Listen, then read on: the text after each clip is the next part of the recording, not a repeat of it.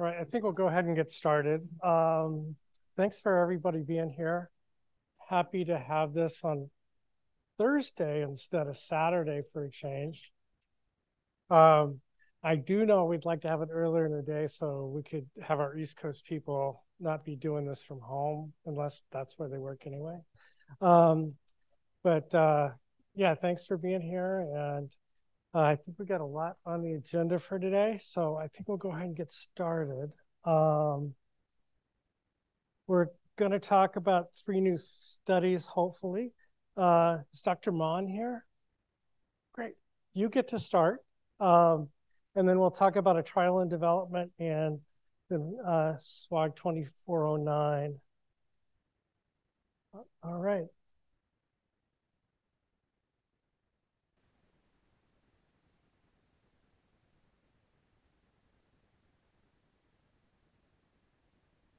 That's how I do it. All right, so thank you so much. It's nice to be here. I think this is my first time attending this particular committee. Um, so I wanted to introduce you all to this clinical trial that we opened through the GU group. I'm Ben Maughan, a GU medical oncologist at the Huntsman Cancer Center in Salt Lake City. So this is SWOG 2200, or we call it PAPMET2. Um, it's coming on the heels of a, a trial that was finished uh, just a few years ago, PAPMET1 or PAPMET as I call it, um, which which really established the standard of care for um, this disease, which is the second most common type of kidney cancer, but that only represents about 15% of all kidney cancer cases. So it is a pretty rare disease. So this is the trial I was referring to, led by Dr. Pal at the City of Hope, uh, where he was comparing a, a, couple of different TKIs. And the, the trial or the, the arm that had the best progression-free survival is cabozantinib. So this really established cabozantinib as the current standard of care.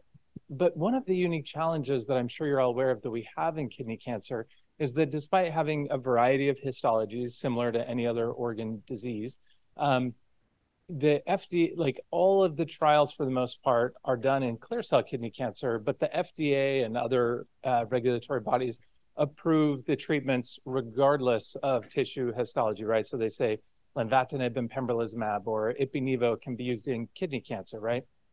So we do have some data about these other more common, you know, clear cell based uh, treatments in papillary kidney cancer, but they're all single arm uh, institution studies. Um, so, for instance, uh, in Keynote 427, which was single agent pembrolizumab in a variety of histologies, you can see the most common type of, of histology that was enrolled was papillary, which is not surprising. And there is a response rate with pembrolizumab in papillary kidney cancer. Um, what about the combinations? So this was a, a an investigator-led trial in IAT at Memorial Sloan Kettering, led by a colleague of mine, uh, Dr. Lee, where he was looking at cabozantinib and nivolumab. Again, another FDA-approved combination. Um, there were two cohorts in this study. Cohort one was papillary, cohort two was chromophobe. So ignore chromophobe for a moment. Um, but in the papillary cohort, which was about 40 patients, um, you can see that there were responses as well. Uh, somewhere about 50% of patients had an objective response. Um, and, and you can see that very few patients, so that the brown on the side is cohort two, so ignore, or ignore those uh, pieces for a moment. But, but as you can see, the majority of the patients are having um, some type of, of response or stable disease. So this led us to postulate that um, the combination of a TKI plus an IO therapy can be effective in uh, papillary kidney cancer. But again, I think it's important that we really prove this in a randomized way since we all know that single arm trials can overestimate the magnitude of effect uh, that, that we see in single arm studies. So it's possible, right? The null hypothesis is that single agent therapy, sequential single agent therapy with like starting with cabozantinib and maybe subsequently doing nivolumab or pembrolizumab or whatever is going to be equally effective for this specific disease type. So this is our trial design. So patients uh, have with metastatic papillary kidney cancer that have zero to one prior lines of therapy uh, can be enrolled and they're randomized to cabozantinib or the combination of cabozantinib and atezolizumab. Because cabo monotherapy is the standard of care, we felt it was important to keep the dose of cabozantinib equal across both arms. So of note, this is a higher dose than is used in the cabo-nivo combination, for instance. that we see for for clear cell kidney cancer. Um, so again, patients cannot have prior exposure to cabozantinib. Adjuvant IO therapy is allowed, um, but there's a time frame that you must have discontinued, you know, more than six months before. And our sample size is 200 patients, randomized equally one to one between two treatment arms. So, so the and and there's a futility analysis plan. So the big reason that I wanted to um, present uh, this study is because we uh, we recently opened um, about a year ago, plus you know the lag, you know lead in time. So we've started enrolling patients. We have six now. There's a number of sites that are open, NCORP sites, academic sites, et cetera. And I'm trying to explore the opportunity of opening this through the VA system across the United States. Um, one one unique challenge that we have with this trial that we didn't with the first version is that this trial at that time was also open in Canada. Um, they have elected not to participate, and they represented about 20% of all the total patients enrolled on the first study. So we we either it's going to take longer to do this study than the previous one, or we have to find more places to open it up at. And since this is a rare trial, the number the our ability is is hugely our ability to enroll is going to be hugely proportional to the number of sites open because with rare cancers any one individual site is likely not going to enroll uh, that many patients indeed if you look at the enrollment per site with papmet 1 um, the the mean or the the median was one uh, one or two uh, depending on how ca- how you calculate it like the mean or the median but anyway, most sites were enrolling one, maybe two patients on the trial, which is what I would expect for rare cancer. So the number of sites that we can get open will be hugely helpful. And so I think opening through the VA mechanism makes sense. So um, that's where we are with this study. Any questions? And then I guess I just wanted, if I could take a moment to sort of get your feedback about about this trial design? Do you, are there unique challenges that it may possess, you know, in, in its current form in the VA system? Um, since I don't work in the VA system, you will be better equipped to tell me. And and I've never opened it through the VA mechanism, so certainly your input and experience would be helpful as well. I agree with the challenges of enrolling into this trial being a rare tumor Again, the dose of cabozantinib seems to be a bit high. What's that last comment? Dose of cabozantinib. Oh, yes. Yeah. So, so the dose of cabozantinib was picked because of what we learned from uh, the the prior study, which was a four-arm trial. I sort of blew through it pretty quickly, but it was cabozantinib. All of these are monotherapies: cabozantinib, crizotinib, savolitinib, and sunitinib. And in that trial, the dose was 60 milligrams and there was a dose response uh, relationship, obviously, and that's similar to what we see in the clear cell kidney cancer study. So, to give adequate justice, I suppose, if you can describe it that way, to the control arm, we felt 60 milligrams was the right dose to start with for the monotherapy, which creates a challenge then when you're trying to compare the because cabozantinib's in both arms, when you're trying to compare the results with cabozantinib at 60 milligrams versus 40 milligrams. If the results are equal or inferior, then you could perhaps start making some arguments that maybe it was solely due to the dose of cabozantinib. So that's why we elected to start with the highest dose and certainly allow for dose modifications and decreases. Hey, Mike Liss. So I, that's the San Antonio VA. So I was just kind of wondering maybe through tumor registry, we should identify the sites that treat a lot more of the kidney tumors because opening it at every VA, I mean, a lot of VAs may not have as much kidney cancer as others. So maybe working through the tumor registry component and seeing which sites are high enrollers and then kind of working with those sites individually first and then opening it up. Some, I don't know, has anyone had success opening it at all VAs at the at one time? I don't think it's really still done kind of like that if you're if you're hoping for that. But usually it's can can it's, I pause you there? Sorry. Yeah. Um, so because I'm new to this, it sounds like when you open at the VA, it still is very much like any individual academic center. You open it each one individually, and it's not like a centralized mechanism. Is that what I'm hearing from you? Well, there's a centralized mechanism as far as you know, central IRB and uh, a lot of our sites work together. So when one site opens it, it can make it easier for others to open. So there are some similarities, but each trial has to elect to open that study. enough. So that's why I would say, you know, working with some of the tumor registries and um, I don't know, Stephen, if we have if we have the ability to when studies come up, can we look at tumor registries of and identify top five VAs that see that? We could probably look at Vinci too, and, you know, do requests for preparatory research, which doesn't require IRB approval. Yeah. And just as long as we have the right parameters, uh, we can talk to the Vinci group in Salt Lake and, and see if, um, that's something we could do on a regular basis. Yeah, because I think this request is going to come more often, and then just finding, oh, you know, Dallas VA has had seemed to have had a lot of these recently, or San Antonio, or uh, Portland, or anywhere else. But you can kind of get a list of the top ones and start working with those PIs to see if they're interested in that. And then once it gets started, then some of the similar processes can happen, so it can open faster at those sites. So that's kind of how it works. That is a fantastic suggestion. Thank you. Okay. So who's the person I would contact to do this registry? Is there like a specific VA registry, I'm assuming? Um, who can help I us with that? think it, it probably comes down to me for right now, and then we're gonna find who is gonna be the right person. And I can help with GU stuff, you know, we can, but I don't, know. we need to find who to contact in the, in the, who has contacts at the registry that we can. Yeah, and sees this. um, I thought Michael Goodman was gonna be on, but he's not responded to the chat. Uh, just maybe too late in Durham for, for him to be on. But um, I can talk to Michael too. He may have ideas of, Okay. of the best ways to, you know, pursue at least for this particular one.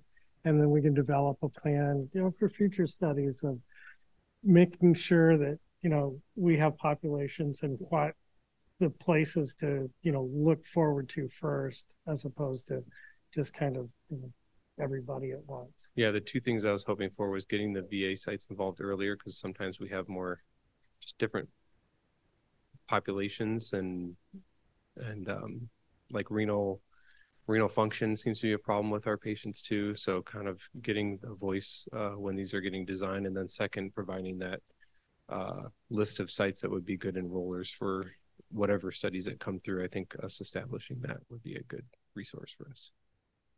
Yeah, and for the GU committee, Michael Goodman is our uh, disease liaison uh, for GU. So uh, he can always be, re- he can reach out to you or vice versa uh, to see if there's a specific criteria within the protocol that you know need to be tweaked in order to make the VA population a little little easier to uh, enroll.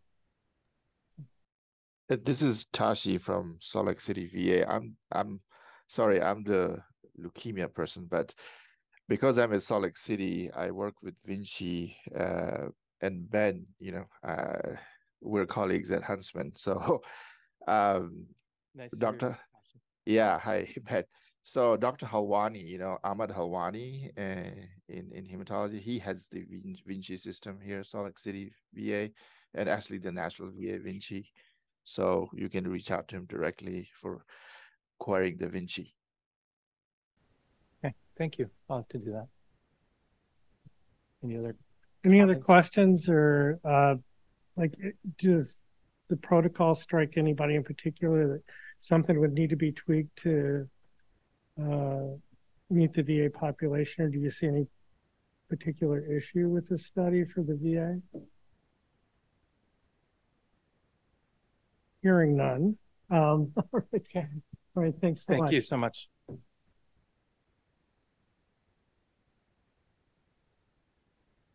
And is uh, Dr. Rafael Santana, do we, there you are, perfect. I just don't know all you by face, so it's, uh, I have to do my best.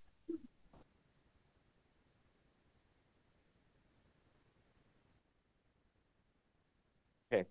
So thank you for allowing me to present this study for you guys. Um, it's um, it's still in the planning uh, setting. We are going uh, to get approval from uh, the uh, thoracic committee at the NCI, which is I understand the final approval before we develop uh, the protocol. We have uh, executive approval. So this is moving uh, along. I'm um, sorry, I didn't introduce myself. I'm a, a thoracic oncologist at the, at the Hutch in Seattle. I used to be a VA doctor in Milwaukee in a previous life, but I've moved to uh, uh, to Seattle. Uh, I am lucky to work with an excellent uh, group of uh, basic scientists, uh, and a lot of of the science that I'm going to present is from their lab. So we are doing a randomized phase two study of um, continuation immunotherapy, in this case, of atezolizumab, uh, versus uh, a standard of care in patients with extensive stage small cell lung cancer that have progressed to first line therapy. So, as you all know, uh, the main uh, progress that we made in, in cancer in general and, and small cell lung cancer as well is the, the ability of uh, immunotherapy to work great for some people. Okay, we know that not not everybody responds, but there is a the hope that uh, you have a a, uh, a prolonged uh, response. This happens in many cancers, as you know, like lung cancer and melanoma, but it's rare that it happens in uh, in small cell. And in small cell, the benefit is is marginal, and the patients that are uh, alive and well after two years are very small. This is um, not what we would expect because small cell is a very uh, mutated cancer uh, that in theory should respond well to uh, to immunotherapy. The curve here is what we see uh, from uh, the latest, I believe, the latest um, uh, survival publication of atezolizumab versus the then standard of care of carboplatin and etoposide. And as you can see, it there is a benefit. The benefit is is small, and we don't know why we know that this is very likely multifactorial with um, uh, many reasons, but one of the main reasons is the low tumor cell expression of um, MHC1, which presents the antigen to the, the immune cell. So if the patient, if the cancer does not express the antigen, the immune cell is not going to be able to recognize it. We also know that uh, neuroendocrine tumors have characteristics that prevent uh, immune cells to infiltrate the cancer. So we know that the, the, those are two of the main uh, characteristics of, um, uh, of why small cell evades the immune system. We also know from analysis of uh, clinical trials that reduced expression of uh, MHC1 and reduced expression of another protein that you'll hear more a little bit called LSD1 is associated with um, benefit uh, from immunotherapy. Uh, we also know that in small cell, there are several epigenetic mechanisms that control the expression of MHC and that control everything, uh, or not everything, but a lot of things about the cancer. So our basic science colleagues over at the Hutch uh, have done experiments trying to modify the several epigenetic mechanisms, including uh, using um, an LSD1 inhibitor. So LSD1 is a uh, protein that has to do with um, uh, I don't know a lot of the science behind it, uh, but uh, has to do a lot to do with uh, the regulating uh, the uh, the epigenetics of small cell lung cancer.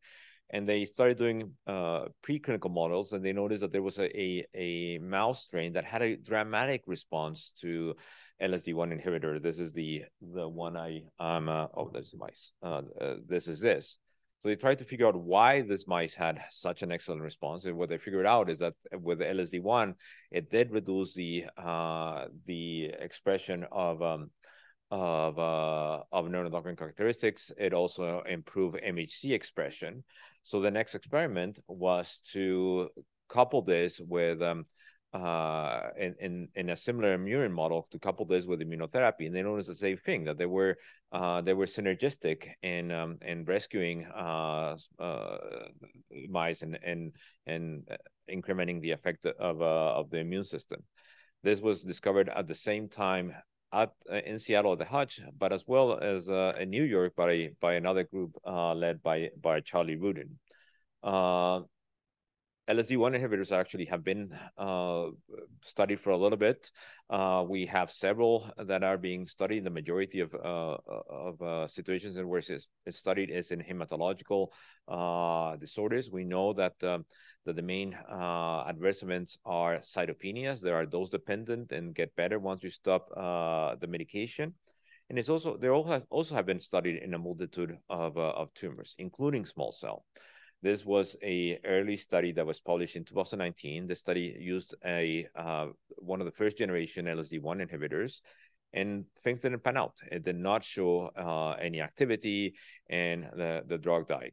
It did show that uh, that it caused the, the, main side effects of, uh, of thrombocytopenia, and more worrisome, uh, it did show that there was some encephalopathy associated with this drug. With newer generation LSD1 inhibitors, um, uh, this is not no longer seen but it makes sense that it has no activity. Uh, again, the purpose of, of uh, LSD1 inhibitor would be to increase uh, MHC1 expression and therefore make the tumor available to the, the immune system. This was done in the era before uh, immunotherapy.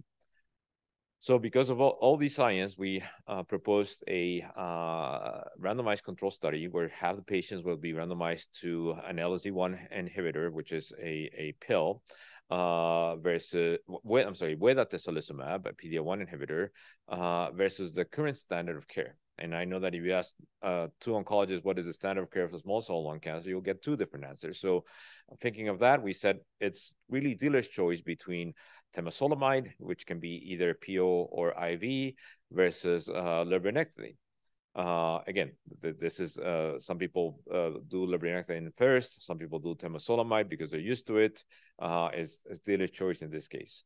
The primary objective is compare progression-free survival uh, across the two arms with several uh, sec uh, secondary objectives, such as describing the adverse events of these dr drugs, looking at the overall survival, and also very importantly, one of the other things that we're doing is um, uh, the same basic scientists have developed a uh, circulating tumor DNA analysis. It's not circulating tumor DNA, but there is a analysis of circulating blood where they are able to detect uh, specific abnormalities.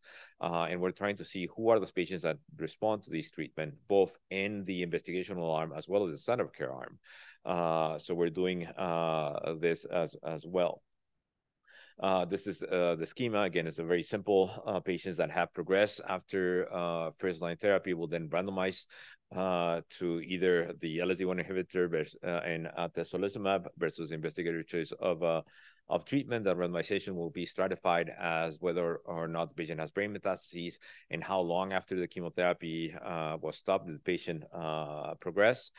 This combination is a novel combination that has not been uh, used. LSD1 inhibitors have been used with uh, with other PD-1 inhibitors, but this specific combination has not been used.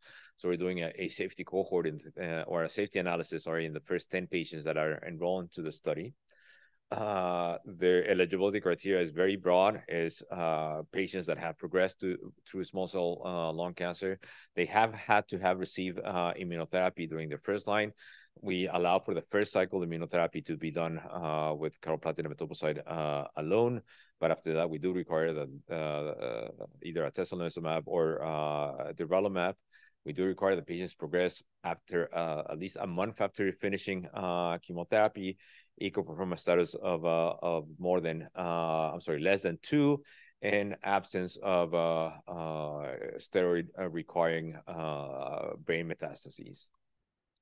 I'm not going to bore you with the statistics because uh, they're very complicated to understand them, but uh, we are uh, looking for 96 uh, patients. Uh, like I said before, progression-free survival was the primary uh, endpoint. We're obtaining the agents from from CTEP under CRADA agreements, and the topotecan and lurbinectedin done on the standard care arm will need to come from from the site. Uh, again, the, the uh, we have uh, uh obtained executive approval. Uh, one of the the comments from the executive committee is that small cell is common in the VA. We want to to have VA participate in SWOG, so it would be a win-win for everybody to to enroll patients and and to the study uh, the to tell you more of the, the side effects of uh, the LSD1 inhibitor, it does cause uh, thrombocytopenia as the main uh, adverse event. So we do require patients to have weekly uh, blood draws while during the first cycle. Once things are stable, then then they're not they're only required every every three weeks. Assessments is every six weeks as standard care. Overall, I think it's a very uh, easy to to accrue study. So with that, I'll, I'll take any questions or comments that you can may have. Yes, please.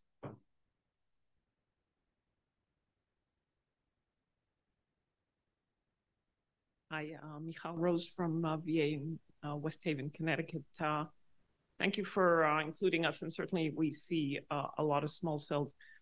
Um, I think a lot of us have the practice, and it's also in the guidelines, as far as I know, that if a patient with small cell has progressed on maintenance, say atezolizumab, you will often go back to the original doublet if it has been more than six months. Mhm. So um, that doesn't seem to be an option in So no, uh, so um, you're you're correct. Uh, the current guidelines, if a a patient has been uh, has progressed more than than six months, consideration of uh, going back to a platinum uh, based treatment is um, uh, should be considered. And no, that would not be allowed here.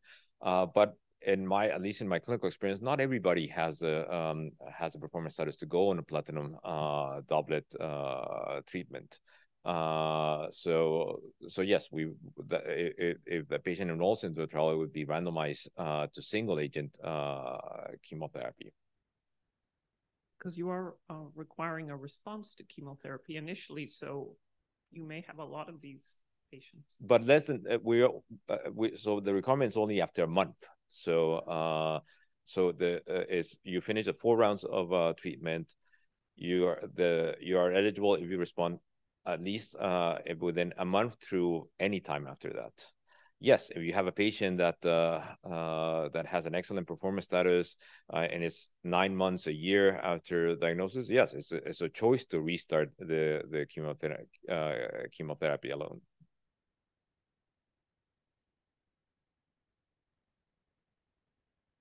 Does the protocol specify what is the standard of care in the other arm? No, so the the we it's a dealer's choice between either lurbinectedin or uh, topotecan, which can be IV or PO. But no therapy with supportive care is not allowed. I'm sorry, what was that? Just supportive care is No, not an por- no option. supportive care is not would not be allowed.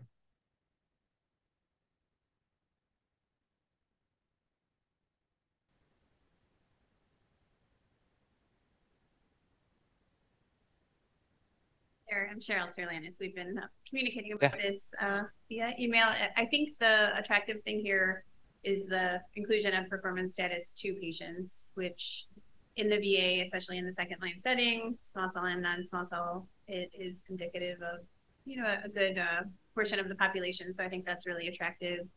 And then the, I do think that the choice between standard of care options also attractive.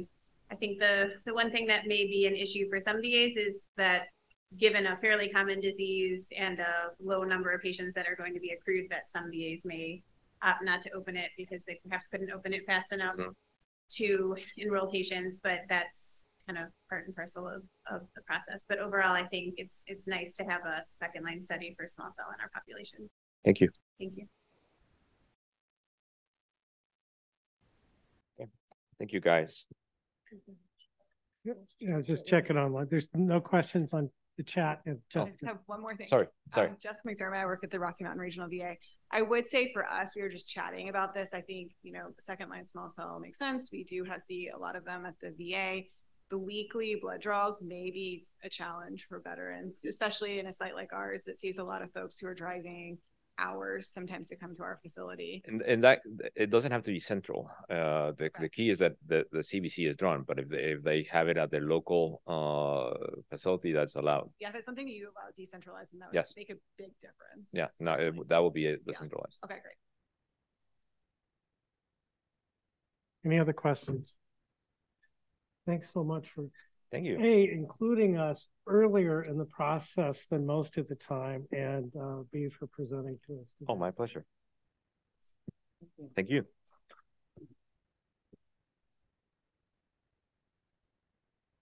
And uh, do we have any here from S twenty-four oh nine? Come on down. Listen.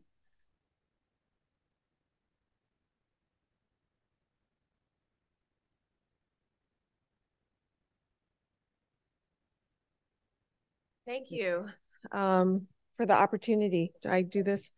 Uh, we're going to continue the discussion on small cell. And we're going to try to continue the next slide.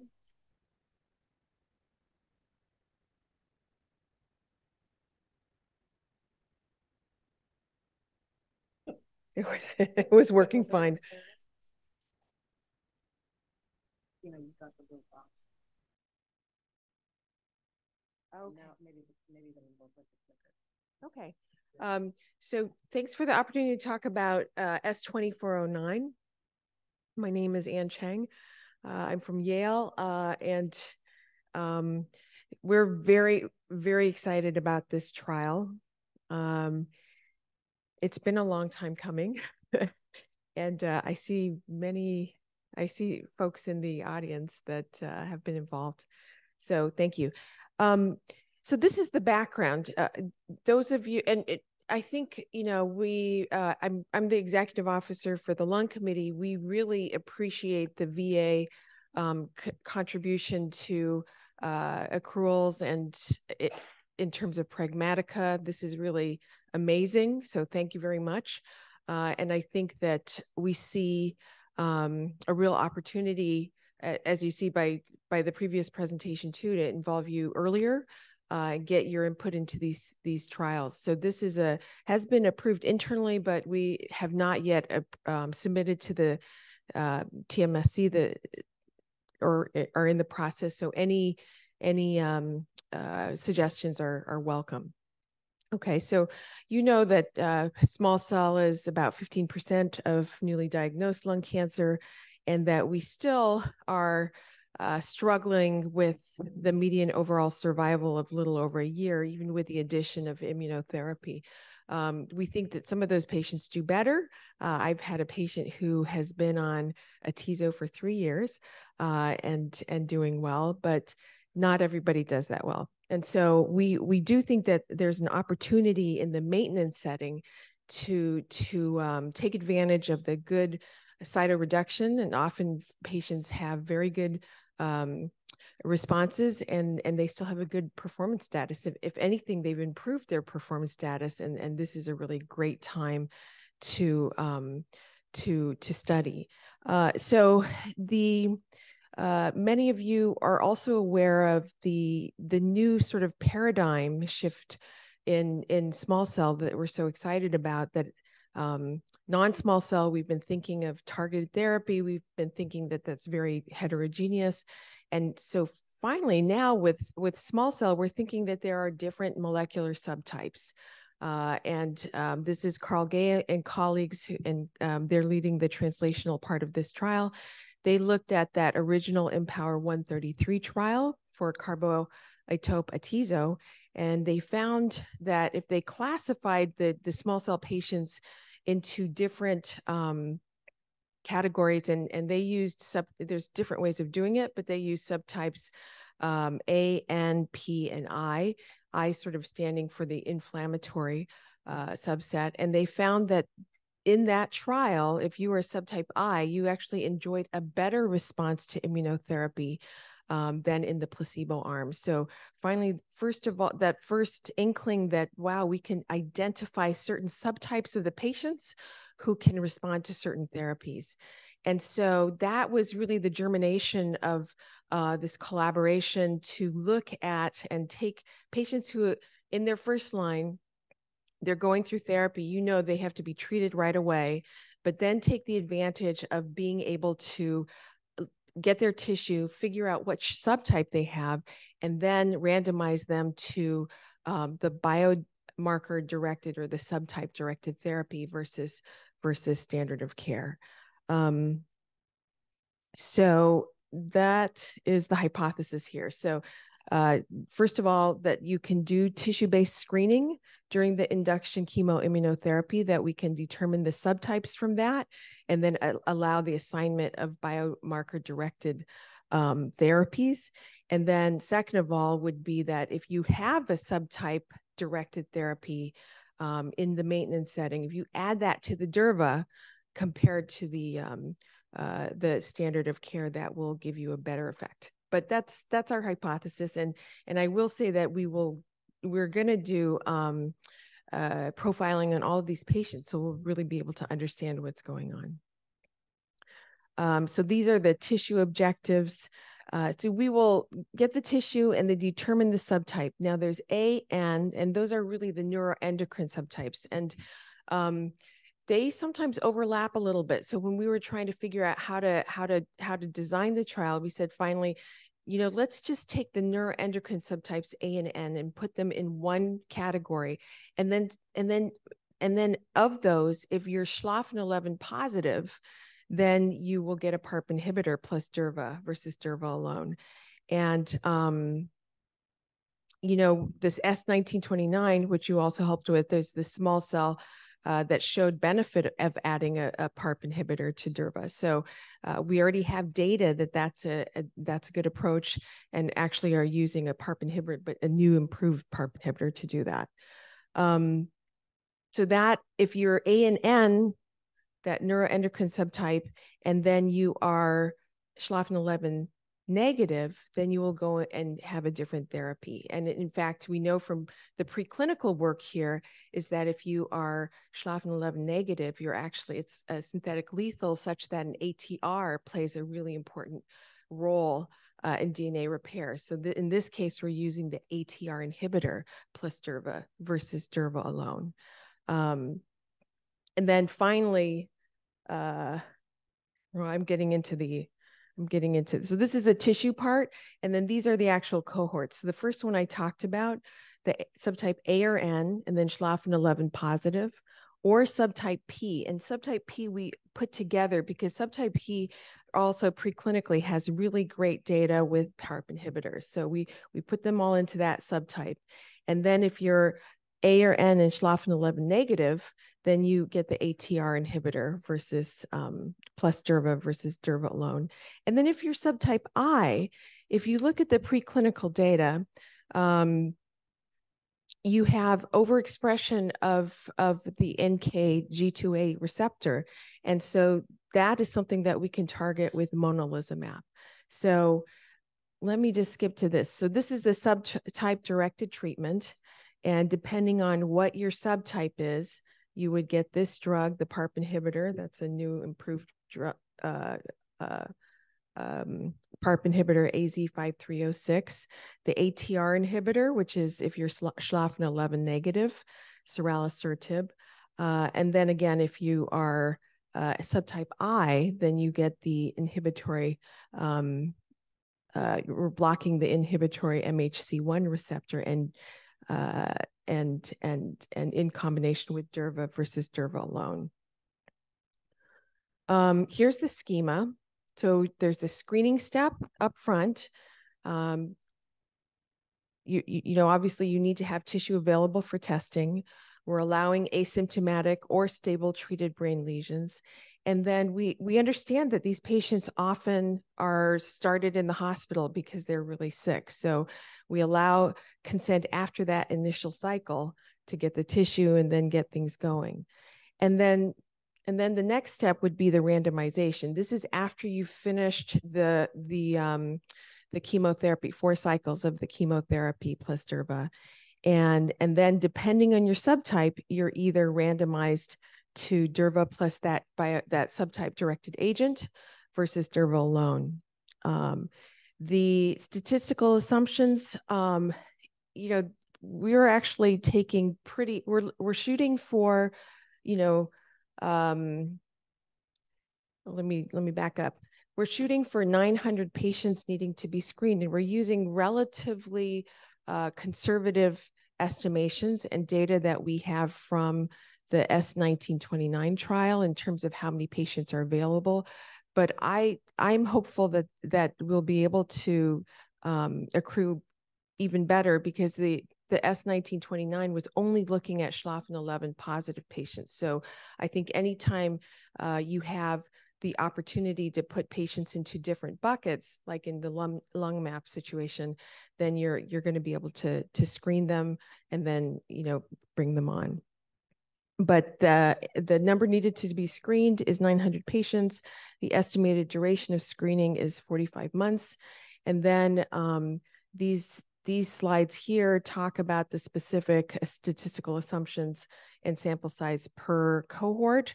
Um, in this case, the PARP inhibitor that we're using is a, sort of a new and improved, uh, has better brain penetration. So we are going to have a 10 patient run in. Um, and, you know, we're looking for about 40 patients annually uh, with a total of, of um, 134 patients. Uh, that's in, assuming there there's going to be about 10% ineligible. We're looking to achieve 120 eligible patients. So I won't go through all the details of all of the cohorts, um, but I will just throw up the screening eligibility. So this would be just for the step one. Uh, we're looking for, you know, basic histological, cytologically confirmed small cell. Um, they should have completed that first cycle. They need to have tissue for enrollment. Uh, to your your comment, these are patients with um, PS zero to two and patients with asymptomatic brain mets. And then the second step um, uh, are, is pretty straightforward, but I will um, I'll just stop there. I I know it's late in the day and and uh, they're probably everybody's tired. So I'd be happy to hear your comments, get your input, and get any feedback from you.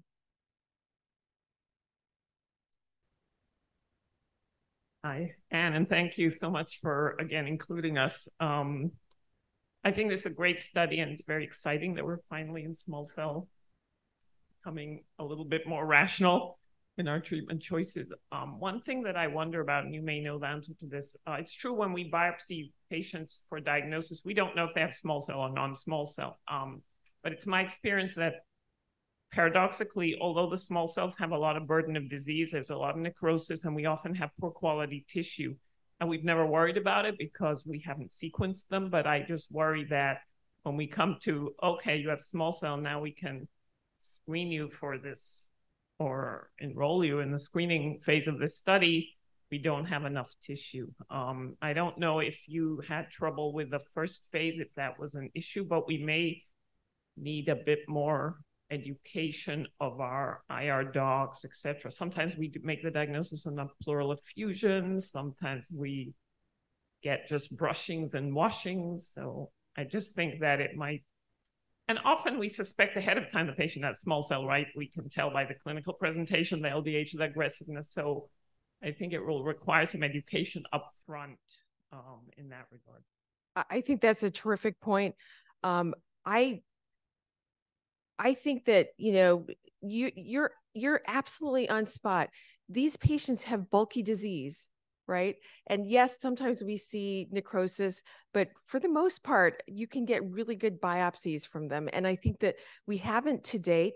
Uh, for the most part, because we don't have a biomarker that we need to get. We don't have to get PDL1 for these patients. We don't have to get EGFR molecular uh, testing. So I do think that this is a this will be a learning curve.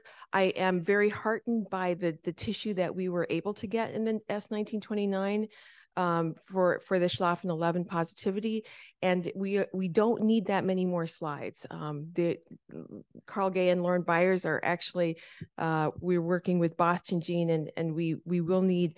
I think it's four four slides and then two extra slides for the slide. So it's it's a very reasonable amount but I do think you're right. This is not a fine needle aspirate. So it will be, you know, education up front and really uh, not for your for your institutions in terms of the the uh, IR docs and the other folks um, getting biopsies that this will be important. But I think that's where we need to go for the field for these small cell patients to be able to to get into other therapies that might help their survival. So the first cycle could be chemotherapy with or without atezo is allowed. Yeah. First cycle. Then what happens? Yeah. If they're enrolled, do we switch to durvalumab from second cycle or only in the maintenance? Yeah, that that's a really good. And you know, I think that um uh, AZ would love for it to be Durva, but we talked to them and we said, look, there's a lot of patients who are getting a atezo. So uh, we really think that would affect accrual. So I think I think that you know being able to be agnostic during the first uh, induction chemo IO it would be important for accrual. Great question.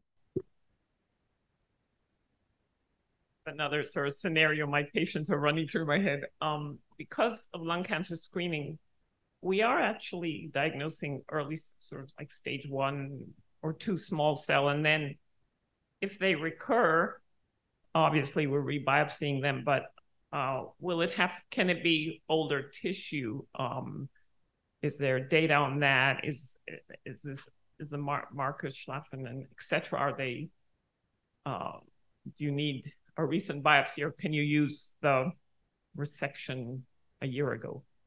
Just something uh, you Yeah. may want to think about. I love that question because first of all, it indicates that, you know, we do have pretty good, some good outcomes for patients who have early stage small cell who undergo surgery.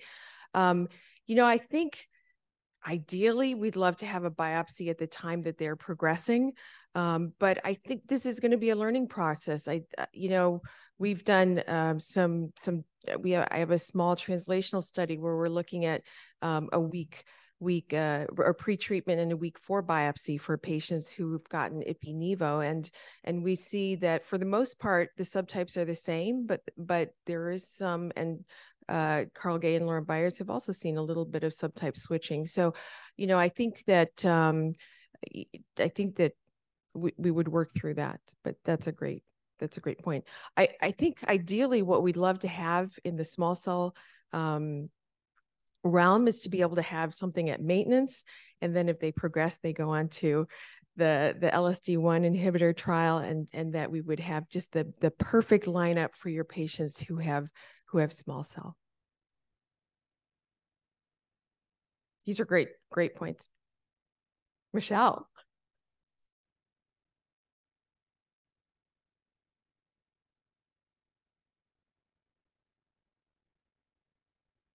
No, I don't think so. I mean, I think that um, so uh, Michelle's referring to a number of trials uh, that that are looking at that are looking at either uh, immunotherapy uh, after chemoradiation or uh, with or during and after chemoradiation, and you know they will have been exposed to um, immunotherapy, but I think that when they progress, and in this case, it may be important to have a a, a, rel- a newer biopsy um, that, that that that you're able to look at your subtype at that point in time.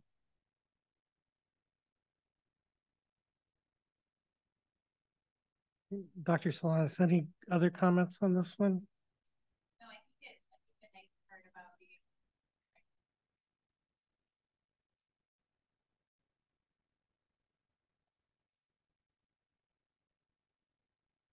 Do you think your patients would go on this trial? I think we do. But NRV would be very helpful.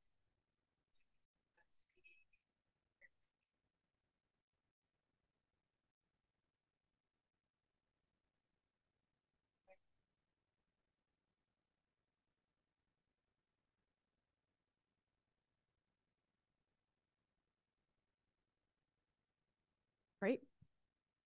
Thank you so much. Thank you so much.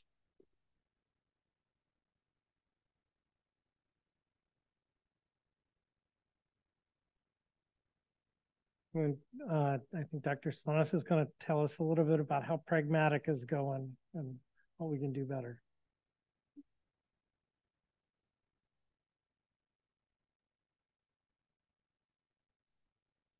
Thank you.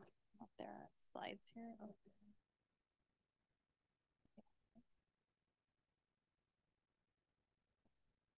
There's the uh, thing on the left. Oh, this is just a click. Oh, okay, thank you. Oh, thank you. So this uh, will be a little bit different in the sense that we are going to speak about the Pragmatica lung study from a standpoint of uh, talking to sites and encouraging sites to open the study and talk about what some of the barriers may be to opening it in the VA. So we had a more formal discussion of the Pragmatica lung study at a prior VA committee meeting. Uh, the study coming out from Dr. Reck, um, and uh, team. So this is a pragmatic study. So a study done under usual conditions compared to optimal conditions, looking at patients who have previously treated stage four or recurrent non-small cell lung cancer. And so this particular trial is randomizing patients to either standard of care, and that is investigator choice. And the, the recommendation uh, per the study is that patients be enrolled or sorry, be treated with a treatment per NCCN guidelines, so fairly open. And then the other arm is ramucirumab and pembrolizumab. So patients have to have received both a platinum-based chemotherapy and then um, a checkpoint inhibitor therapy prior to enrollment. And so then the actual, because of the pragmatic design, the actual the actual sort of study procedures are fairly minimal looking to just define what is the overall survival between the groups and then looking at toxicity. So, um, because we've discussed this before, we won't go into too much detail. But when we've talked about this study in the lung working group, the sense was that this would be a great study for the VA in the sense that the eligibility is fairly broad. Patients can have a performance status of two, which, like we've discussed, many of our patients do in the second and subsequent line settings. The study um, is uh, accruing well, and the lung working group had wanted to see if there were any concerns or any barriers about opening opening this particular study in the VA um, or what people may have encountered. I think one of the comments is that sometimes there are questions that there aren't enough study procedures or that people aren't exactly sure what to do to to make this study go, but just wanted to open the forum or dis- the discussion to any barriers or thoughts or whether sites have opened the study and what the experience has been. Does anyone have the study open yet? Yeah. And how has it gone so far? Early stages. Yeah, we are as as well. So it seems like something that should be quite easy to accrue to, but we're even though we've had it open for a little while, we haven't quite found the right person yet. Any feedback to share or thoughts about or concerns or any thoughts about opening it at sites? Okay, well, thank you. Just putting it out there that it's an option and something that seems like a potential good fit for our population. Thank you. Thank you. Yeah, I did have the question uh, earlier this year from uh, Dr. Blanke and Laura of, of uh, kind of why the VAs haven't jumped on Pragmatica more. Um, so if there are some specific things, whether it's operational or whatever it is, uh, let us know because that's the kind of stuff we're supposed to be working on. And um, if if there's things we can do uh, or bring forward, uh, that would be tremendous.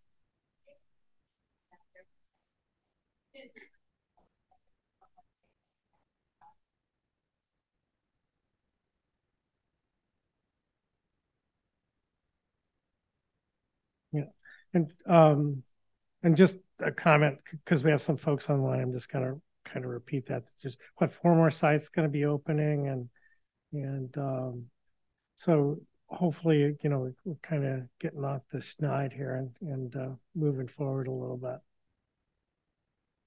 All right, Caitlin, could you use the microphone, please, just because the people online have no idea what we're doing. Jennifer Whitehead at San Antonio. Um, I know one of the, our barriers to open it, or one of our thoughts, is that it doesn't meet the LPOP requirements, and so a lot of our lung stuff that we're looking to open is low, more looking at targeted um, therapies, I guess.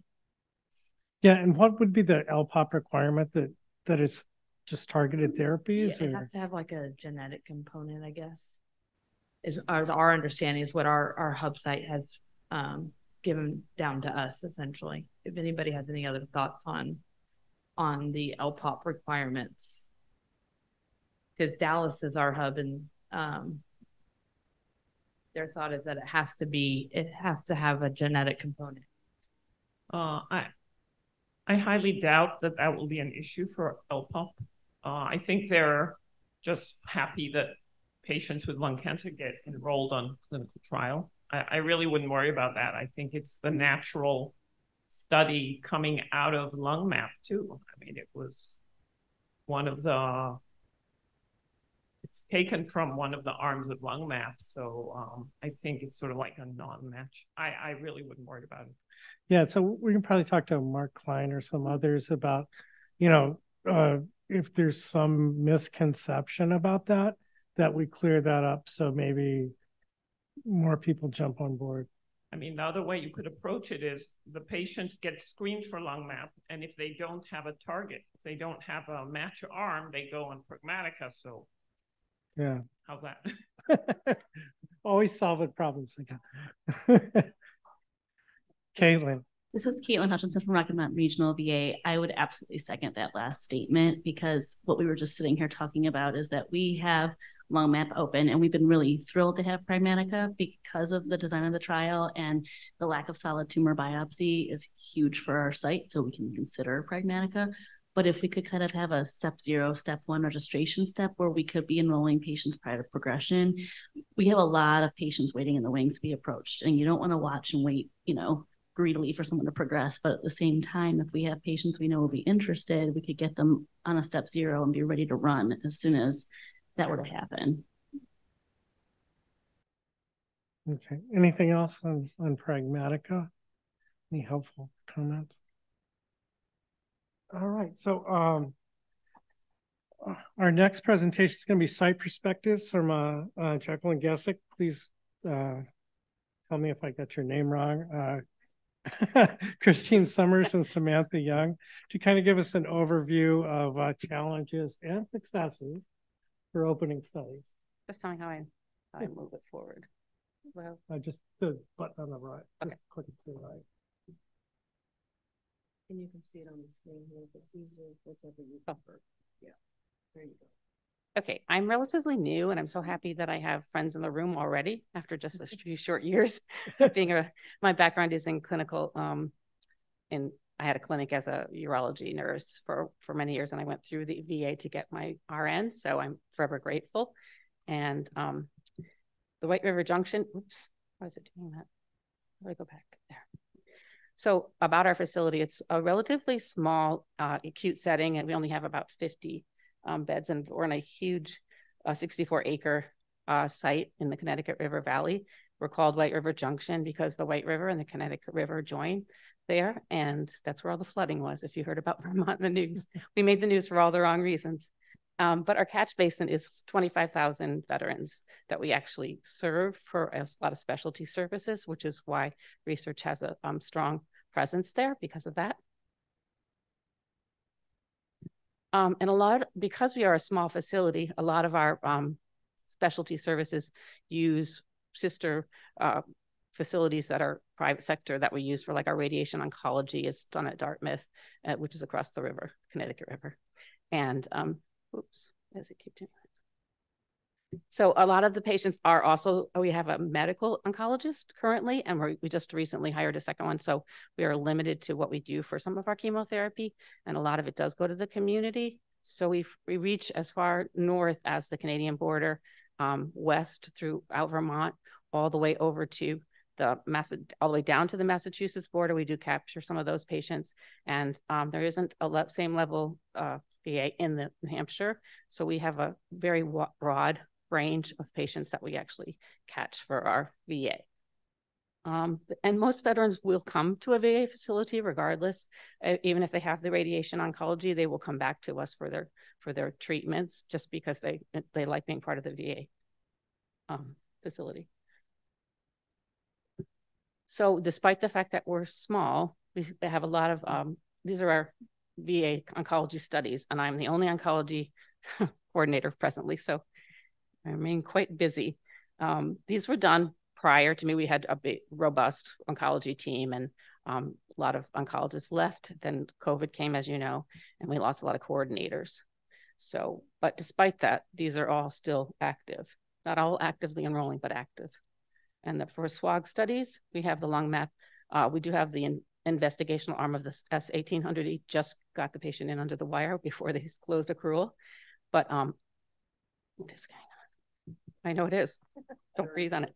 Um, uh, so the Alchemist, and, we, and that uh, secondary, the sub-study now is now open on the Alchemist, and PACE is, is closed to enrollment, just closed in June, but we do have patients in that as well. So for recruitment, we have with only one coordinator. Our biggest um, our biggest effort is actually at our clinical studies. So we see the patients. I have to order with only one research coordinator, I predominantly do the clinical side first, and then all the other efforts, even though I do screening and attend tumor board and do everything I can for recruitment, I am limited by time for that. And with one oncologist, again, she's also predominantly doing clinical, um, the clinical side. So research is not that it's taken a back seat. We still have active research, but the time element is just our limitation. And we did just recently hire a second oncology oncologist, which hopefully will help. Despite that, we still do a um, gauged effort with LPAP, as somebody mentioned, and we do lung cancer screening, um, an effort to engage our community and let them be the lung cancer awareness. I didn't even go near it. I know. So I, so um, in order for me to survive, I've actually reached out and I have uh, great friends in a lot of consortium, the MAVERIC Consortium and the other VA sites, West uh, West Haven and Rhode Island, have been essential to me to maintain my studies because they offer all that other knowledge and support, and um, wouldn't have survived without them. So greatly appreciative. So again, staffing is our biggest limitation, but um, on a positive note, we have been able to maintain all the studies that were started and open additional sub-studies despite that, just to keep the best um, studies open for patients. Uh, the other thing is the distance to travel. Like I mentioned, we do have a whole system of volunteers, over 100 volunteers that actually go out and bring patients to our facility. So large times the community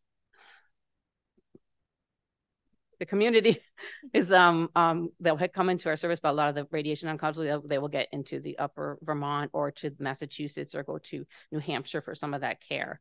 So the community care effort lots of times. So some of the studies that involve radiation oncology we would not engage in just because it would be difficult to ream in that data from other so many sites. But um, again, patients still prefer to come here. We have a, um, lot of patients that prefer the VA. So. Oh, can I touch it now? So I'm just showing you beautiful Vermont. It is beautiful living there. The leaves were a little late, but that's sort of, but it's our biggest concern is staffing. And the only reason is corroboration. But actually, in talking to everyone that was here at the SWOG, everybody's experiencing, no matter how large their sites are, the staffing overlap so that you're doing multiple jobs rather than one. And everywhere I see the same thing. Oh, oh. Christine, look at that. the segue. So um, new to the new to the research, love it. Um, my veterans come first, and um, they're an amazing population. So I love what I'm doing. I just need help. But again, thank you to all of you for that support.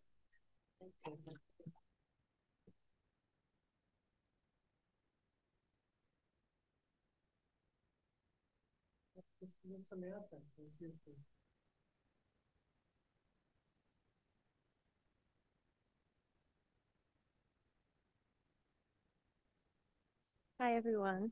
My name is Samantha. I'm Christine. We're from West Haven. Um, we actually are going to talk about our kind of success and challenges to opening Pragmatica. So, um, okay.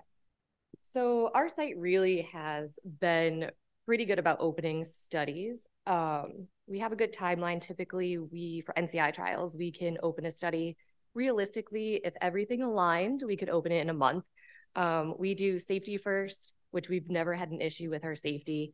Um, and then privacy office, ISSO.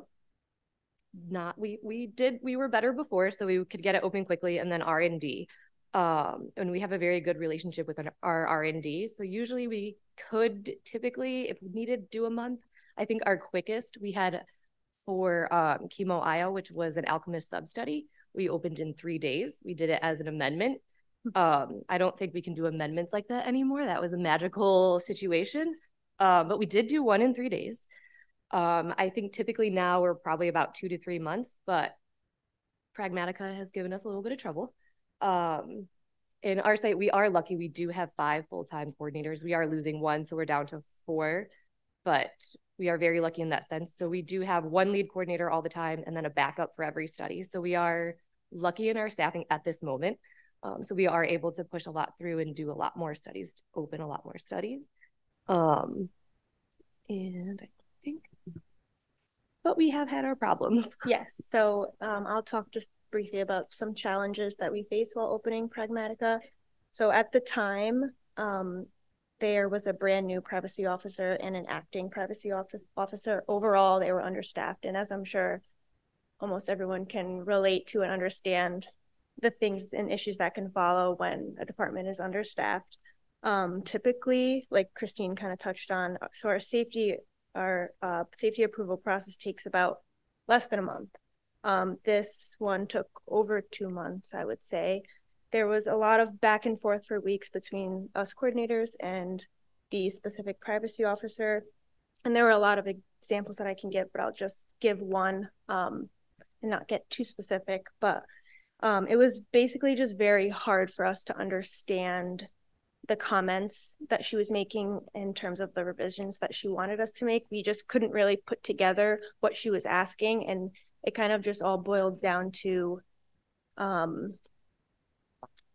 that department being understaffed and her kind of rushing through the comments and everything that she needed from us. So that was the last thing that where we then decided maybe it's best that we have a meeting and so we can go through everything face to face and and talk through everything. Um, so we ended up meeting um, two coordinators and the privacy officer to kind of talk through everything. Um, we had to explain to her why we answered things the way we did, like for example, on one of the applications or one of the forms.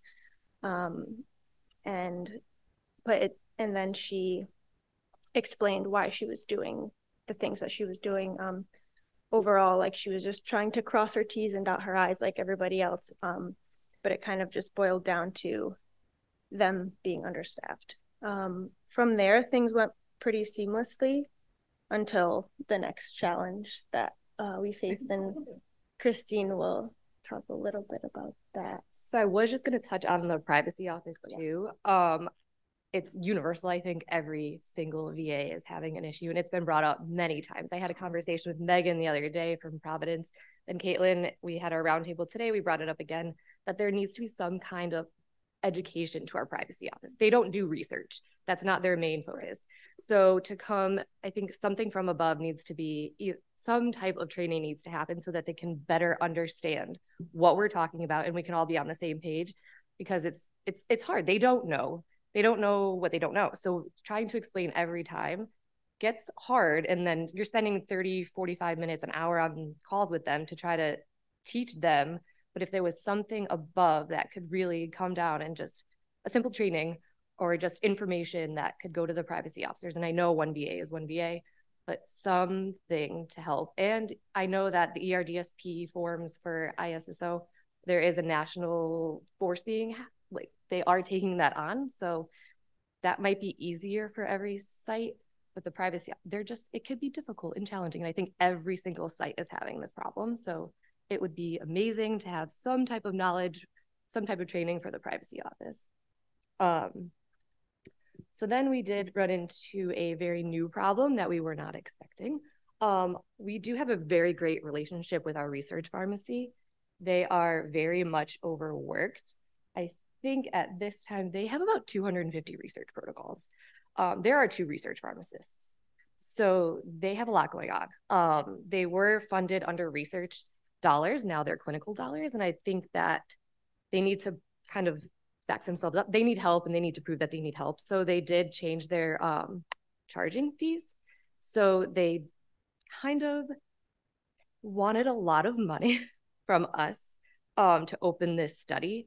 I think it got up to like 24,000 to for the entire study, which is a lot of money. There's a lot of conversation. I don't want to scare other sites because I don't know that this is going to be something that every single research pharmacy is going to do. But for us locally, it was very much a challenge. And there's a lot of conversations, I think, with our ACOS and everybody else to try to straighten this all out. Um, I know Dr. Rose and Dr. Chow have been trying to fight this, so I don't want to go too far into it, but it really was a challenge. I think it's taken us about six months to open this study because of this research pharmacy budget. So finally, we, I think we've kind of hashed out what we could. And I just talked to Research Pharmacy, and we are going to be opening October 24th. We are completely open, but we get to enroll. They said we can start enrollment hopefully on the 24th because I did say we have two patients that are coming. So please, like, can we please get this? So they did agree that it was important. They do know and they do appreciate us and we do have such a good working relationship. So once I dropped that two patients were potentially eligible coming in the next four weeks, they did agree. And now, so October 24th is like our kickoff. So we should be good to go. But that was a huge challenge for us. Um, very unexpected. I think it came quickly. Um, there is a new ACOS, so we've had a lot of staff turnover in that sense too in the research office. So I think a lot of communication and things still have to happen, but we are there now. So um, like I said, I don't want to scare other sites because it was us, but it was something that was that was tough. Um, and I think that's it. it. We were short and sweet. Yeah. Any questions?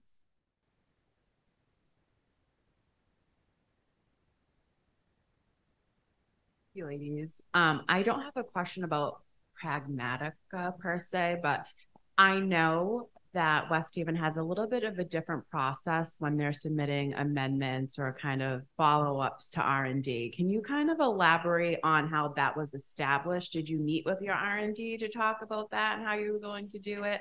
And just kind of tell us kind of like your monthly like briefing that you send to R&D for all the NCI trials because I think that if other sites could maybe adopt that, that would ease the burden on regulatory things for site. Yeah. Um, so I I was I wasn't there when it started, but I Monica probably knows. Um, we I think they there was a lot of conversation with R and D. Um, and at first when I first started, we were emailing our R and D. So if there was an amendment, we would email the R and D manager um the consent form, and he I don't know he would look at it just to make sure VA language was in there. That's all he cared about. Um, so we would have that highlighted. We would send it to him. He would just say, okay to implement. And that would be our implementation. That was it for any amendments. So it didn't go through R&D. It was an email directly to him. Now IRBNet changed things. Um, so now for amendments, um, we do it ourselves. We say if there's an amendment, I will update the consent form. We have another coordinator check, make sure everything is in there. That's our implementation. Um, so we can do it in a day, same day if we have to. Um, we're very lucky. And then every month I submit a monthly report to our R&D chair. So I just tell her we had NCI trials, we had two amendments. Um, if there's any deviations that were filed, any SAEs that were filed, I just put a little memo to her, send it to her, and she reports to R&D for that month. Um, if she has questions, she's come back a couple times just asking more about an SAE or anything like that. But there's not a, they don't require a lot of detail as they shouldn't. They're not the IRB of record. So we just give them the bare minimum and they are good with it. It's been a lot of conversations, I think. And sh- we have a new R&D manager and she's fantastic. So she understands. It is nice. You're welcome. So that would be something we'd like to uh, create us as a best practices document that we can maybe share with the rest of the community uh, to maybe make other VAs and R&Ds more comfortable with that. I, you know, you know, the VA, there's people are always so scared to get dinged for something. Yeah. And so if, you know, comfort in numbers. Um, so if we all do it, yeah, we can say all the other kids do it. Yeah. So come along. uh, thank you, ladies. And we're very, very proud of our research team in Connecticut. Um, they're just really amazing, and we owe them any and all the success we have. So thank you. I, I wanted to sort of throw out something that maybe can be a aspirational goal for this committee.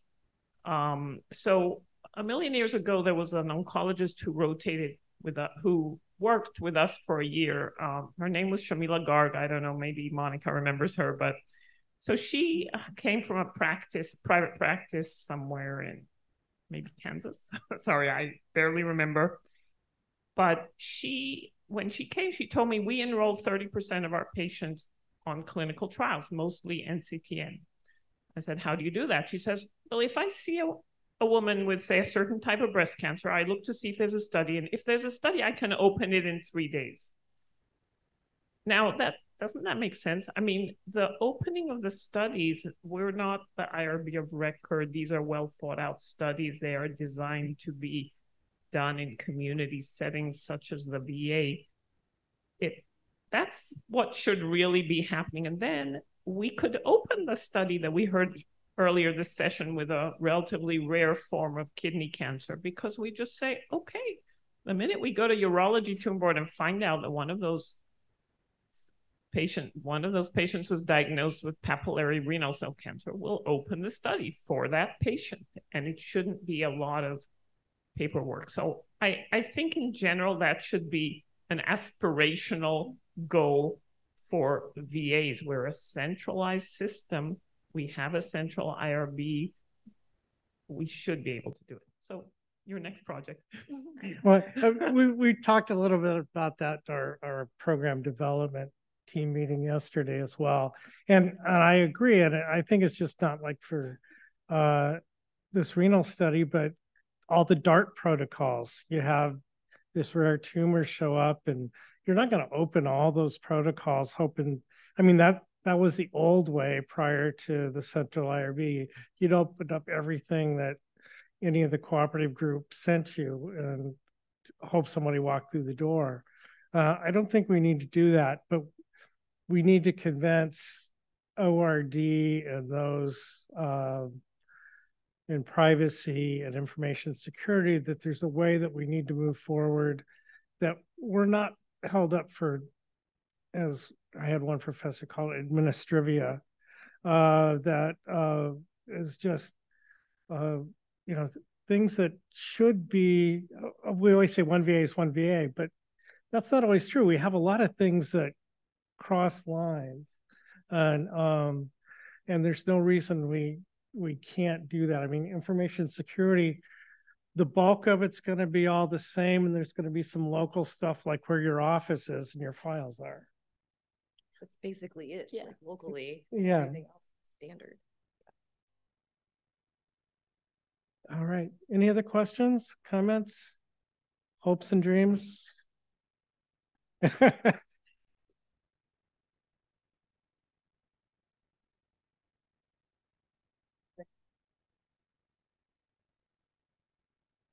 Next, we'll have Sharon Palmer from, um, what's the new name of the operations office? Center. What? Network Group Operations the Network Operations Center. I'm Sharon Palmer. I'm a senior protocol project manager with SWOG, and I was asked to join the VA committee to look at different ways SWOG can write protocol calls and help the VA be more involved and able to activate studies. With that said, there's been, when I've sat for the past year listening, there's been times I've heard funding across the board is an issue. How do we get this approved as research, or how do we get this approved as clinic? Um, and no, we don't have an overall fix. We are trying to help work with the NCI for the NCI to work with the VA to help fix the issue overall. But what we can do is offer little tools and little trainings that might help you with items that you could use. And one thing we came up with um, was something that's already done for all of our studies, actually all NCTN studies, and it's called a national coverage analysis. It's completed on all studies before they even activate, and it's available on CTSU. So what we did is we did a recorded training, and thank you to Megan Page and Caitlin Hutchinson for attending. The Hope Foundation put it on with their budget analysts, and Casey Dawson and Megan and Caitlin attended and listened and asked questions from a VA's perspective. Um, and we have that now recorded and available on the VA workbench. So I just wanted to touch on it briefly, give you a quick overview and point to where you can go to access this. This isn't meant to be the overall training on it, just a quick, here it is. Maybe it'll be useful for you. I hope it is. If not, I mean, it is there if you need it. Um, so it, like I said, it, uh, the training is available on the VA workbench. You'll just log in. It's SWOG under member researches, resources and the VA workbench. It's down I think halfway through the page. Um, and then just a quick overview. Like I said, uh, the national coverage analysis, it's an analysis, um, it's a review of all the tests, procedures, and interventions associated with a clinical trial to determine which are billable, which ones are billable and which ones are not billable to a third party payer against the national guidelines and coverage rules. So it goes line by line code item, um, the TSH for this at cycle one, day one, it, yes, is billable or no, is not billable, has to be covered by the study. Um, it is performed by the Clinical Trial Support Unit, which is CTSU, and it is created for all NCTN and NCORP trials. Like I said, it is created before a study even activates, and a study cannot activate unless all billing issues discovered on this NCA are resolved. So when you see a study activated on CTSU, that means uh, the NCA has determined, well, CTS, CTSU through the NCA has determined that there are no billing issues or should not be any billing issues on this study. Um, and the NCAs are intended to be a guide for sites as they consider participation in SWOG trials or, like I said, any trial from the NCTN or NCORP. Um, sites should, should still make sure they do their own local coverage analysis using their own local coverage determinations. Um, like I said, the VA we do know is its own insurance payer, so this is a little different. But our hopes were you could possibly use the NCA when going and looking at the different departments to show them like, hey, look, this is covered standard by the all other insurances. We should be covering the standard for our veterans. Um, and once they're completed, they can be posted on the CTSU protocol dashboard. I don't. I hope all of you have a little familiar with Arity with CTSU. Um, but just be safe. This is kind of an example. Uh, this is S2209. When you go to CTSU, you will search on the left side for the protocol. After you hit the protocol tab, that is. Um, once you pull up the protocol, you'll go to funding information and you will find it. If you scroll all the way down, you'll find it as a document at the bottom of the page. There you go. It's titled coverage analysis worksheet. And also on there, you do find the funding worksheet too that shows site payments, which I'm sure you all are familiar with when you do open your studies or look at activating a study. Um, and like I said, CTSU uh, website, it's got the NCA, the funding memo. And if you do ever have questions on an NCA, the Hope Foundation is really amazing. They really do want to work with the VA and help. And with that said, all of the budget analysts, the grants and contracts, they can all be contacted by emailing funding at swog.org and they will answer questions on the NCA. Like I said, with this training, it was Casey Dawson, Chris Postoka, and Anna Hogan. Couldn't thank the Hope Foundation enough, as well as Caitlin Hutchinson and Megan Page for even sitting in on this training and giving us their thoughts. And I also wanted to open it up to see if they had any kind of comments on what they thought about the training and potential use.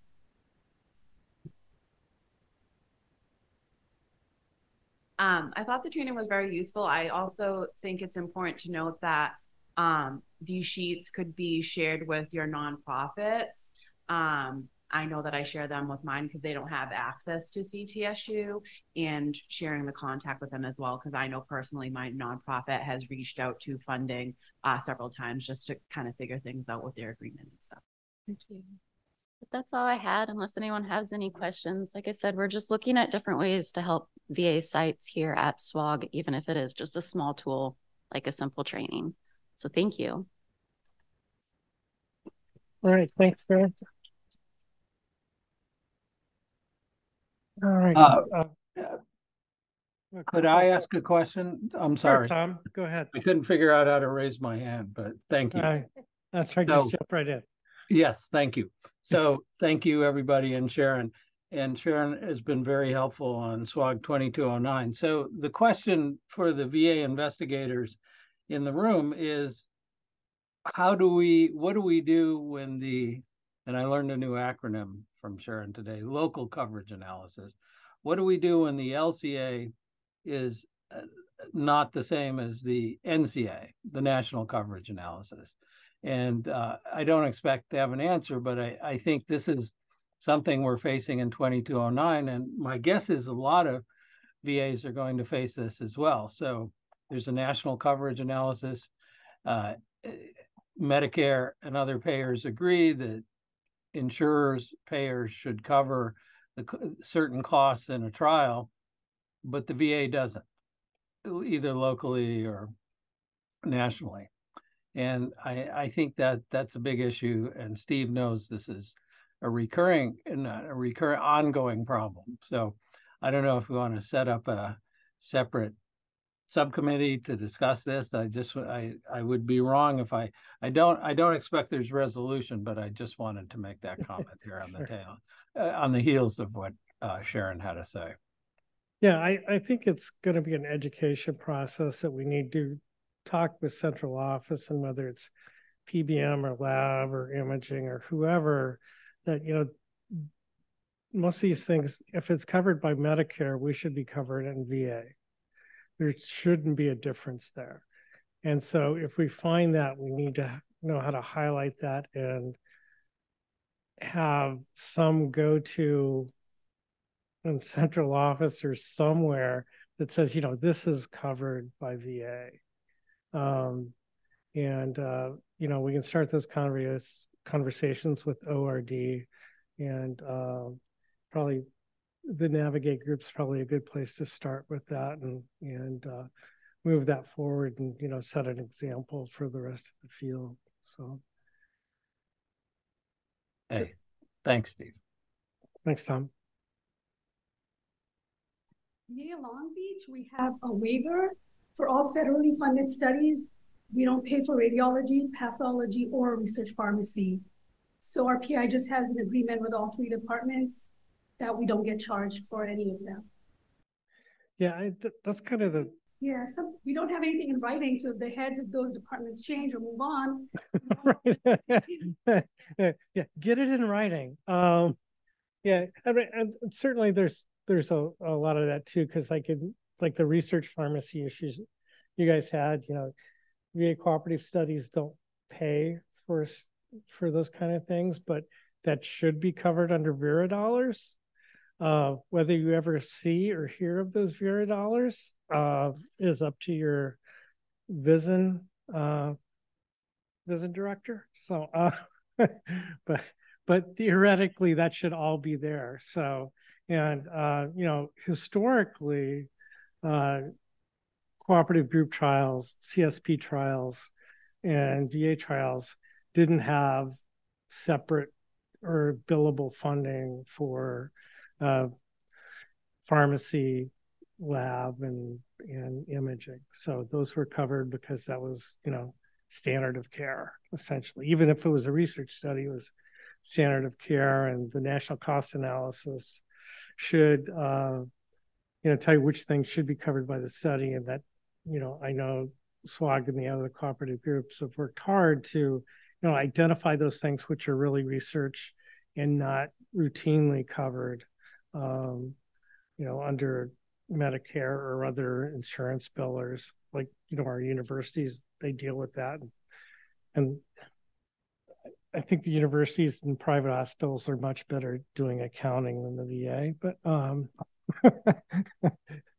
we haven't dealt with money that way. So, um, anything else on that? Uh, just a quick update. We have our disease committee liaisons uh, and needs. We're uh, Dr. Tashi is going to be our leukemia representative. Um, and then we have another uh, other openings. I think we have um, a candidate for early therapeutics. And what else do we have? Um, and we're looking at um, doing a better job with our liaisons, making sure that they know what to do and what the co- disease committee chairs understand their role. And um, so our, our, development team is uh, working on a process for that so that you know we can get early input like we've seen with the lung lung studies, uh, which I think will be very helpful uh, for VA studies going forward. Um, onto current VA stats and accrual. Leslie's going to help us there. Yeah. okay, this is the button on the right. Right.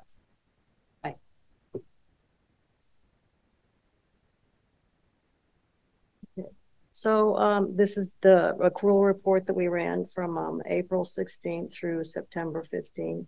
Uh, I'm not going to go line by line on this. It's pretty self-explanatory.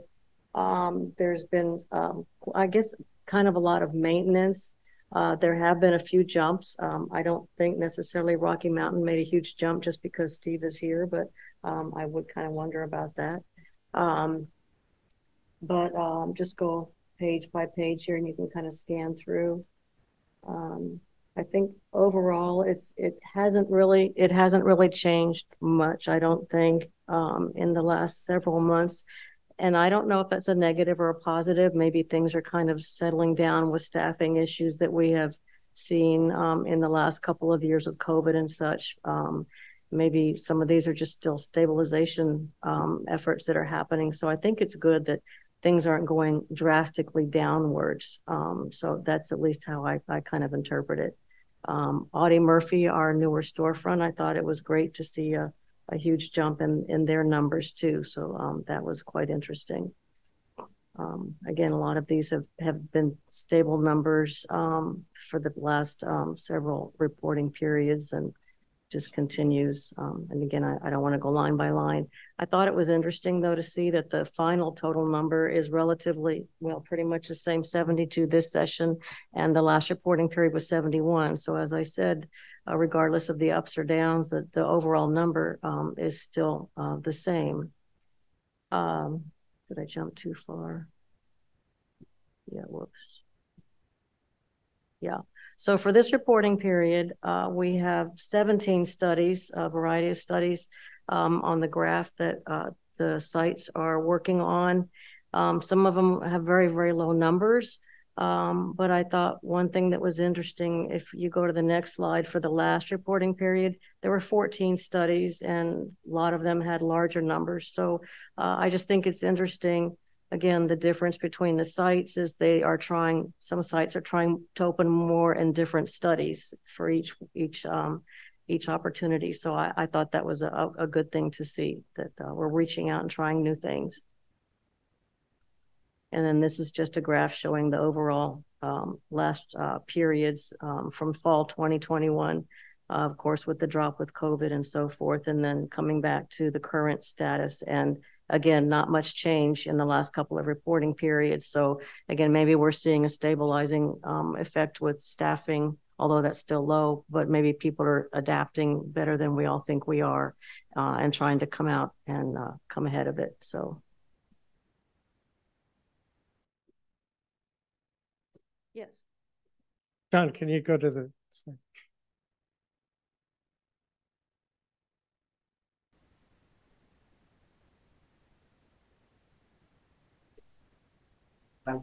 Mm-hmm. We have, we've opened three studies. Um, duloxetine just before it got shut down, uh, S2209 in EAA 181.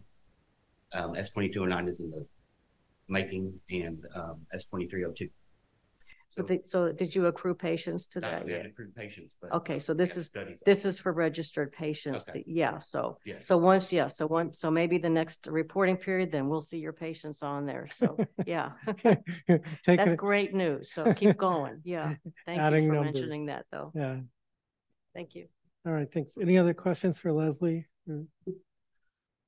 Uh, kind of the uh, last couple things on the agenda is our uh, VA program development team. There's a, a number of folks that uh, are in the room that are on that team, and we had a, a meeting. Was it yesterday? It seems like a long time ago.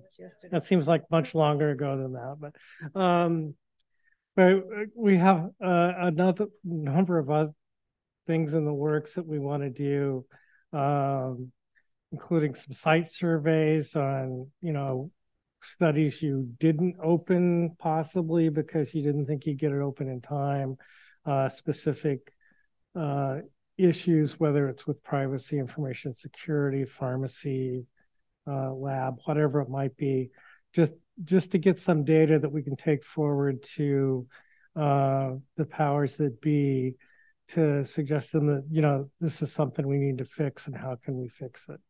And uh, give them some suggestions and maybe not necessarily from us, but from uh, some some other voices within uh, the cooperative groups that um, that might have a, a meaningful voice uh, for for the front office. Um, we are, and I, I uh, emailed with Stephanie Ferguson from Navigate today, uh, and we are going to, you know, work with them closely to develop a shared resource in addition to what we have on the VA SWOG VA workbench, but that resource would be uh, ideally, at least what my mind is that you know when somebody opens a study, kind of like the storefronts already do, they they share documents and information for opening a study, but that it'd be more VA wide. Uh, it would include navigate sites and non-navigate sites, uh, so that you know when somebody opens Pragmatica, like the EDRSP is there, uh, an approved privacy thing is there, which may alleviate some of the heartburn of a privacy officer if they know somebody else has done it. It depends on the privacy officer, obviously. But, uh, uh, also, we're going to uh, talk with the privacy office about doing a training for. I think they have a training for research, but I don't think it's specific to oncology or cooperative group trials. So, if we can work with them and get something along those lines and or at least some guidance for privacy officers that uh, whether it's a, a TMS training because everybody loves another TMS training, um, or you know best practices or or you know things to look for. So um, other things we're going to actually our development team instead of meeting kind of uh, twice a year as we have, we're going to go to monthly meetings for the development team and quarterly meetings for the whole group. Um, so that you know we can keep things moving forward and faster. So um, and uh, we welcome all the input and cooperation, and uh, we might be reaching out to some of you for help because we always need help. And uh, and you know certainly send us your ideas. Um, you know it may be something we're already working on, or it may be something you know you may have this idea that just never occurred to us. So we'd love to have have your input. Um, recently, uh, let's see, Leslie, Sharon, um, Connie, did you go to Avaho?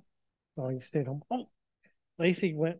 Um, so uh, they went to Avaho uh, conference also in Chicago just a week or so ago. Um, and uh, we had a booth for SWOG, and uh, there's a a number of things that uh, is very interested in working with us. Um, and uh, there's some things that uh, we're going to talk with them about and and maybe move some things forward on that front as well. So um, I think it, it went very well. It I theoretically did a presentation at Avaho, but I wasn't the one there doing it. Dr. Goodman did it for me because I was home with COVID. So thank goodness. But um, yeah, Dr. Data did uh, the, the storefront for our South Texas uh, new storefront. And uh, there was a number of other things along research lines that um, I, I think, you know, a number of years ago, there wasn't even kind of a research forum in Avaho, and it's gotten stronger and stronger every year. So, um, oh, so that's good. Yeah, and just on a side note too, Avaho has recorded many of those sessions, and so they've told me once they release those recordings, I'll be posting those on the VA workbench. Um, and there were three or four SWOG specifics presentations, so we'll let you know when those get posted. And then um, I think we'll have, you know, another group meeting in the first quarter of 2024. Um, and uh, hopefully it'll be as good as it was great to have the uh, study presentations and some discussion about those studies and how they pertain to VA. Um, we're, we're, getting more and more of that, and that's great. And even, you know, a, a presentation for a study that doesn't even have a number yet, um, so that, that we can get in early uh, so that's great. So any comments or questions from the room or online?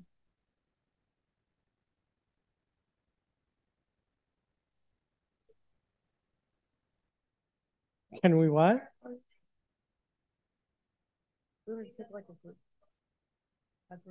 Sure. Oh, where, where is the SWOG photographer? Yeah, that's true. Yeah. I don't know if you want to, if you need or want to address these slides before we do that. With oh, oh yeah. Just one other thing. Um, the Hope Foundation. I'm I'm required to do this. Joe Horn makes me do this. no, but we're happy to do this actually. Um, uh, be sure to you know to think about hope uh, when you when you're thinking about uh, giving money to something.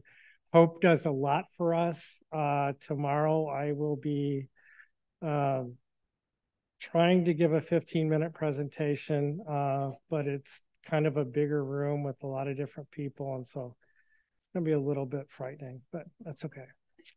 Um, but it's all about how the Hope Foundation has helped move the VA program along from the VA integration grants to our storefronts to funding CRAs to come here, which I kind of just learned today. Nobody told me that before. So I'm just going to have to mention it off off the cuff. And, um, you know, and funding, you know, Leslie's position, our halftime FTE for a, a VA liaison in the uh, Network Operations Center. Yes. Um, yeah. And uh, so, yeah, hopefully that'll that'll be well received and we you know we'll, we want to be sure that uh, the hope foundation gets credit for all the things that they've done for us so. All right. If that's it we can maybe one of the IT people could take the picture. do a couple of different yeah. yeah so gather up front we'll do the big